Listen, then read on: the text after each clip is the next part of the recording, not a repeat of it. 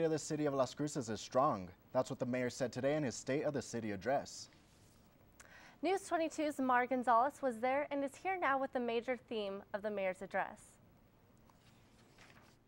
Thanks, Tobias and Lacey. Even with financial challenges, Mayor Miyagishima says the city of Las Cruces has built a strong financial foundation.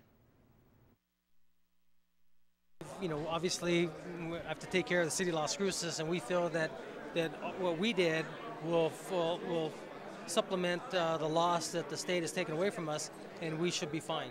Even though the recent gross receipt tax collection was lower than expected, the city was able to make adjustments without a major effect on services. Believe that the legislature can go retroactive and go after our hold harmless money that we have recently uh, put our bonds through. You know, we basically passed legislation that would enable the city to start acquiring three eighths of a percent of uh, gross receipts tax to, to fulfill our coffers.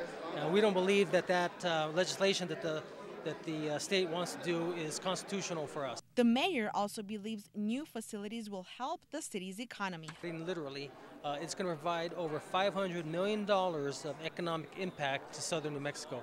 500 million is a lot of money, and we're excited about that.